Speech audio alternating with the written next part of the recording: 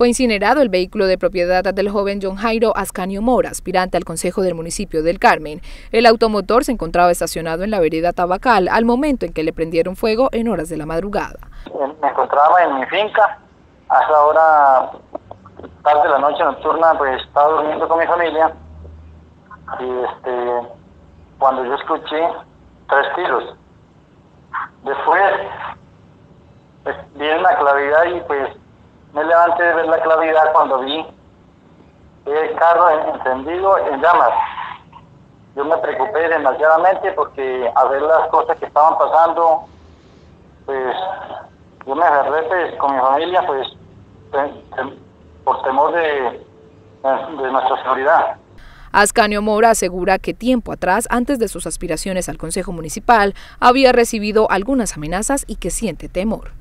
Quiero decir yo, si ha tenido amenazas, algo de cosas de, que se han dado de tiempo atrás, pero no amenazas electorales.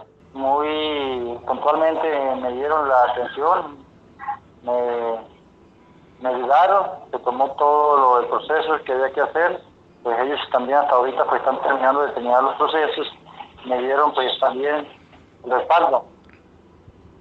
Y también la personera pues también, algo de todo, también está haciendo el resto del proceso para velar por lo sucedido.